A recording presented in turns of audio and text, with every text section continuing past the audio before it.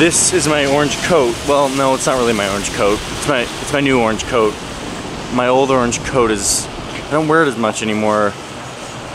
this is a sad story.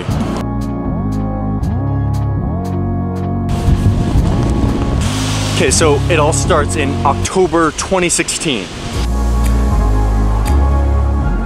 Iz and I were in Boston for the weekend, and we thought it was gonna be warm, and it was not warm.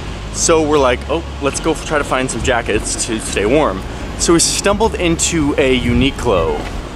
Uniqlo? Is it Uniqlo or Uniqlo? Is the emphasis on the first syllable or the second? Uniqlo, Uniqlo. We're gonna hear all about it in the comments. I'm just gonna keep saying Uniqlo because even though I think that's wrong, it feels right. And we find these down jackets sitting on the wall. Exactly what we needed. They were compressible and simple and warm and they were really cool colors.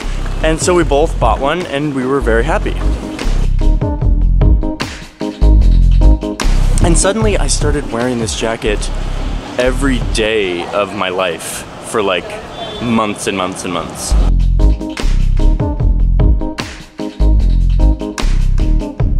I would bring it on trips. I traveled and did borders basically wearing that jacket all the while.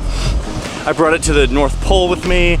It was just, it became kind of a part of me because it was so compressible. I could just slip it anywhere and I kind of fell in love.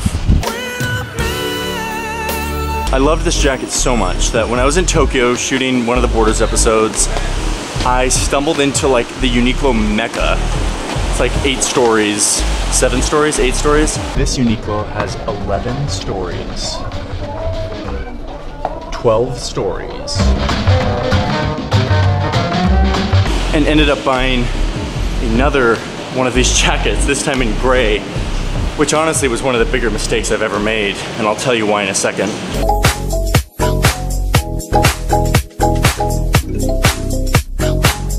P.S. I'm on my way to the Norwegian mountains and need to go find a grocery store to shop so we can cook in this cabin. I'm going out with some buddies of mine.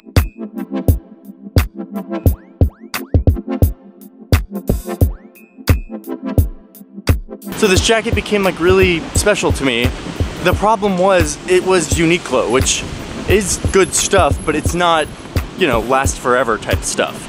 I wore this thing kind of down to the core. The zippers started to get a little bit worn down, the seams were a little bit weak, and the color started to fade.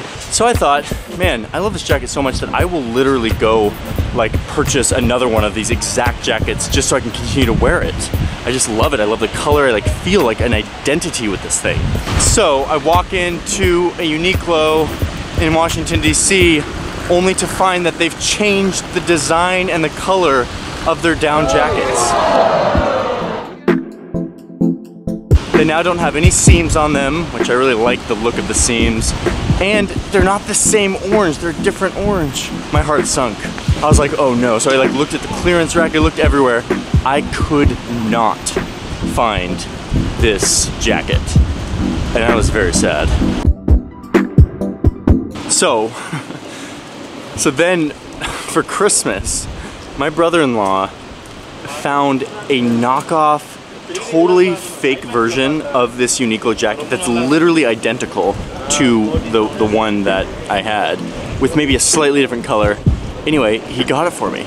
Came from China. It was a total like rip-off. Like it even said on the eBay thing, like patented Uniqlo coat. Like they were like very upfront of, with the fact that they were stealing the patent. Now I had two of these coats but unsurprisingly, the Chinese knockoff wasn't the best quality. Like it definitely started to kind of wear down as well. The water resistance just wasn't a thing on it. So I had the coat, but it wasn't really the coat. It was very much a knockoff version. I finally decided if I can't find this coat at Uniqlo, the original one, I'm gonna have to look somewhere else. So I started looking at Patagonia. Sure enough, at Patagonia, they have a very similar coat, similar color. Synthetic, it's not down, but it's warm and it's water resistant and all these things. And I was super stoked about it. So I put it in my cart, I was about to buy it, and I go to buy it like a few hours later and it's sold out. Moments after I'd already added it to my cart and it was in stock, it, it became sold out. So I'm starting to realize that maybe I need to rethink my whole strategy with this orange coat obsession. And so I'm revealing now that I have purchased a blue coat from Patagonia that is super warm. It's made of down. It is super robust. Has a little orange on it, but it's not my original orange coat. Here I am with Patagonia. I like the blue, and then I got this water resistant shell that is a nice beautiful orange, and that's how I'm reconciling the tension in my psyche surrounding not having my orange coat. This orange coat is actually waterproof, like truly, truly waterproof, like water would not go in it, it just beads up, which is something I need because I'm often out in the rain. Uniqlo, if you're listening, I would definitely love to wear that old style coat. If you still have one in your inventory somewhere, send it my way. I will gladly replace it in two seconds if I if I had an original of, of that design. It's become like a collector's item for me now.